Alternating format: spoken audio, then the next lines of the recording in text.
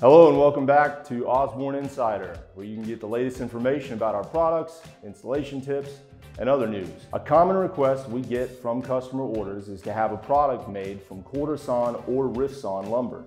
This is usually available for white oak products. The difference in each type is how the lumber is cut from the log. Plain or flat sawn is the most common type.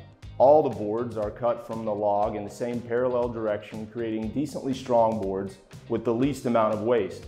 The grain pattern is determined by where on the log the board was cut. These boards, however, are most prone to warping, twisting, or cupping. Quarter sawn lumber is created by first cutting the log into quarters. Then the boards are cut in the same parallel direction.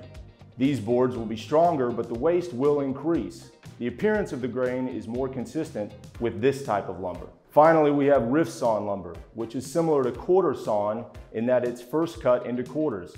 However, the second step involves cutting the quarters into a spiral pattern. This is the most dimensionally stable option, but it also has the most waste. While we don't stock our products in quarter or rift sawn lumber, we are happy to make them as custom items for you. Thank you for joining me for this Osborne Insider. If you'd like to stay updated with our newest content, don't forget to like the video and subscribe to our channel. Until next time, I hope you take the opportunity to build something beautiful.